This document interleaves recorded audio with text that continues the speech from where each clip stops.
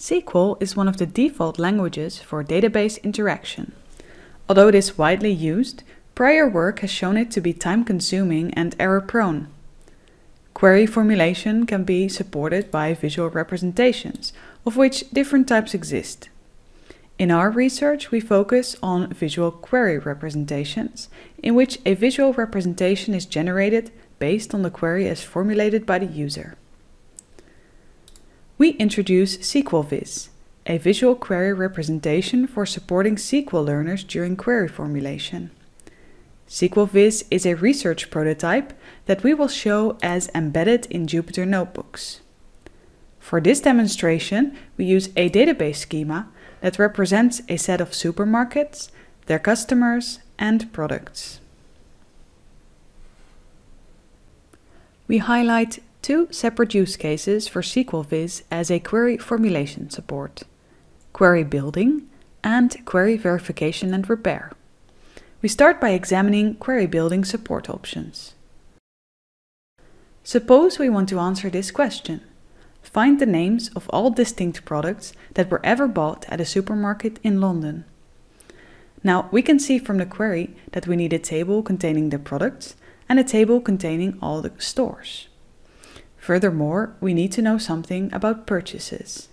But how to move on from there? What are the correct foreign keys to connect the data? Let's write a query to show our starting point.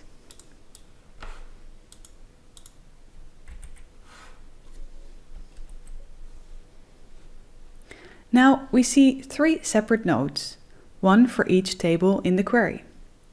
When we expand these nodes, we can see their schemas.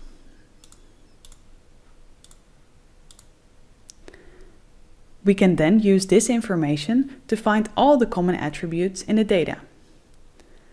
We can see that the correct foreign keys to connect the tables are product ID and store ID. Now let's connect them and see what we end up with.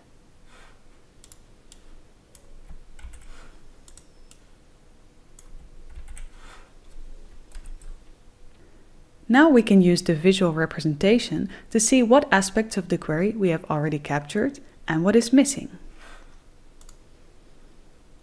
we need to add a condition to find the stores in the City of London.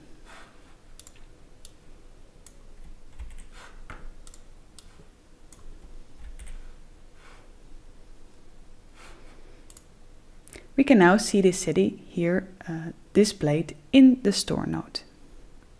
Finally, we should edit the select clause to select the product names.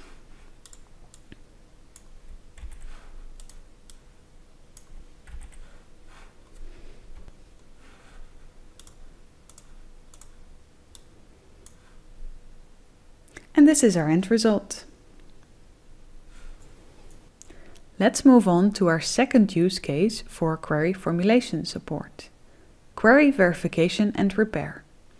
To this end, we check a formulated query against its question. The question is, find the most expensive price a product has been sold for ever in London and report the price, the name of the store that sold the item for that price, and the name of the product.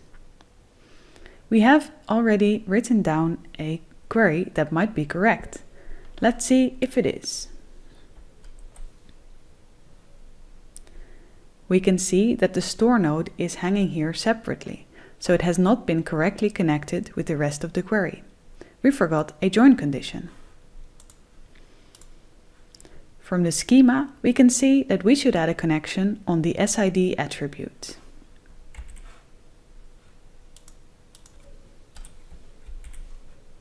Now let's check it again.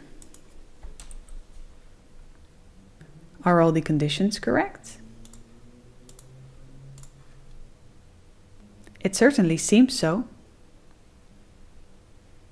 This concludes the demo of SQLVis, a visual query representation for supporting SQL learners.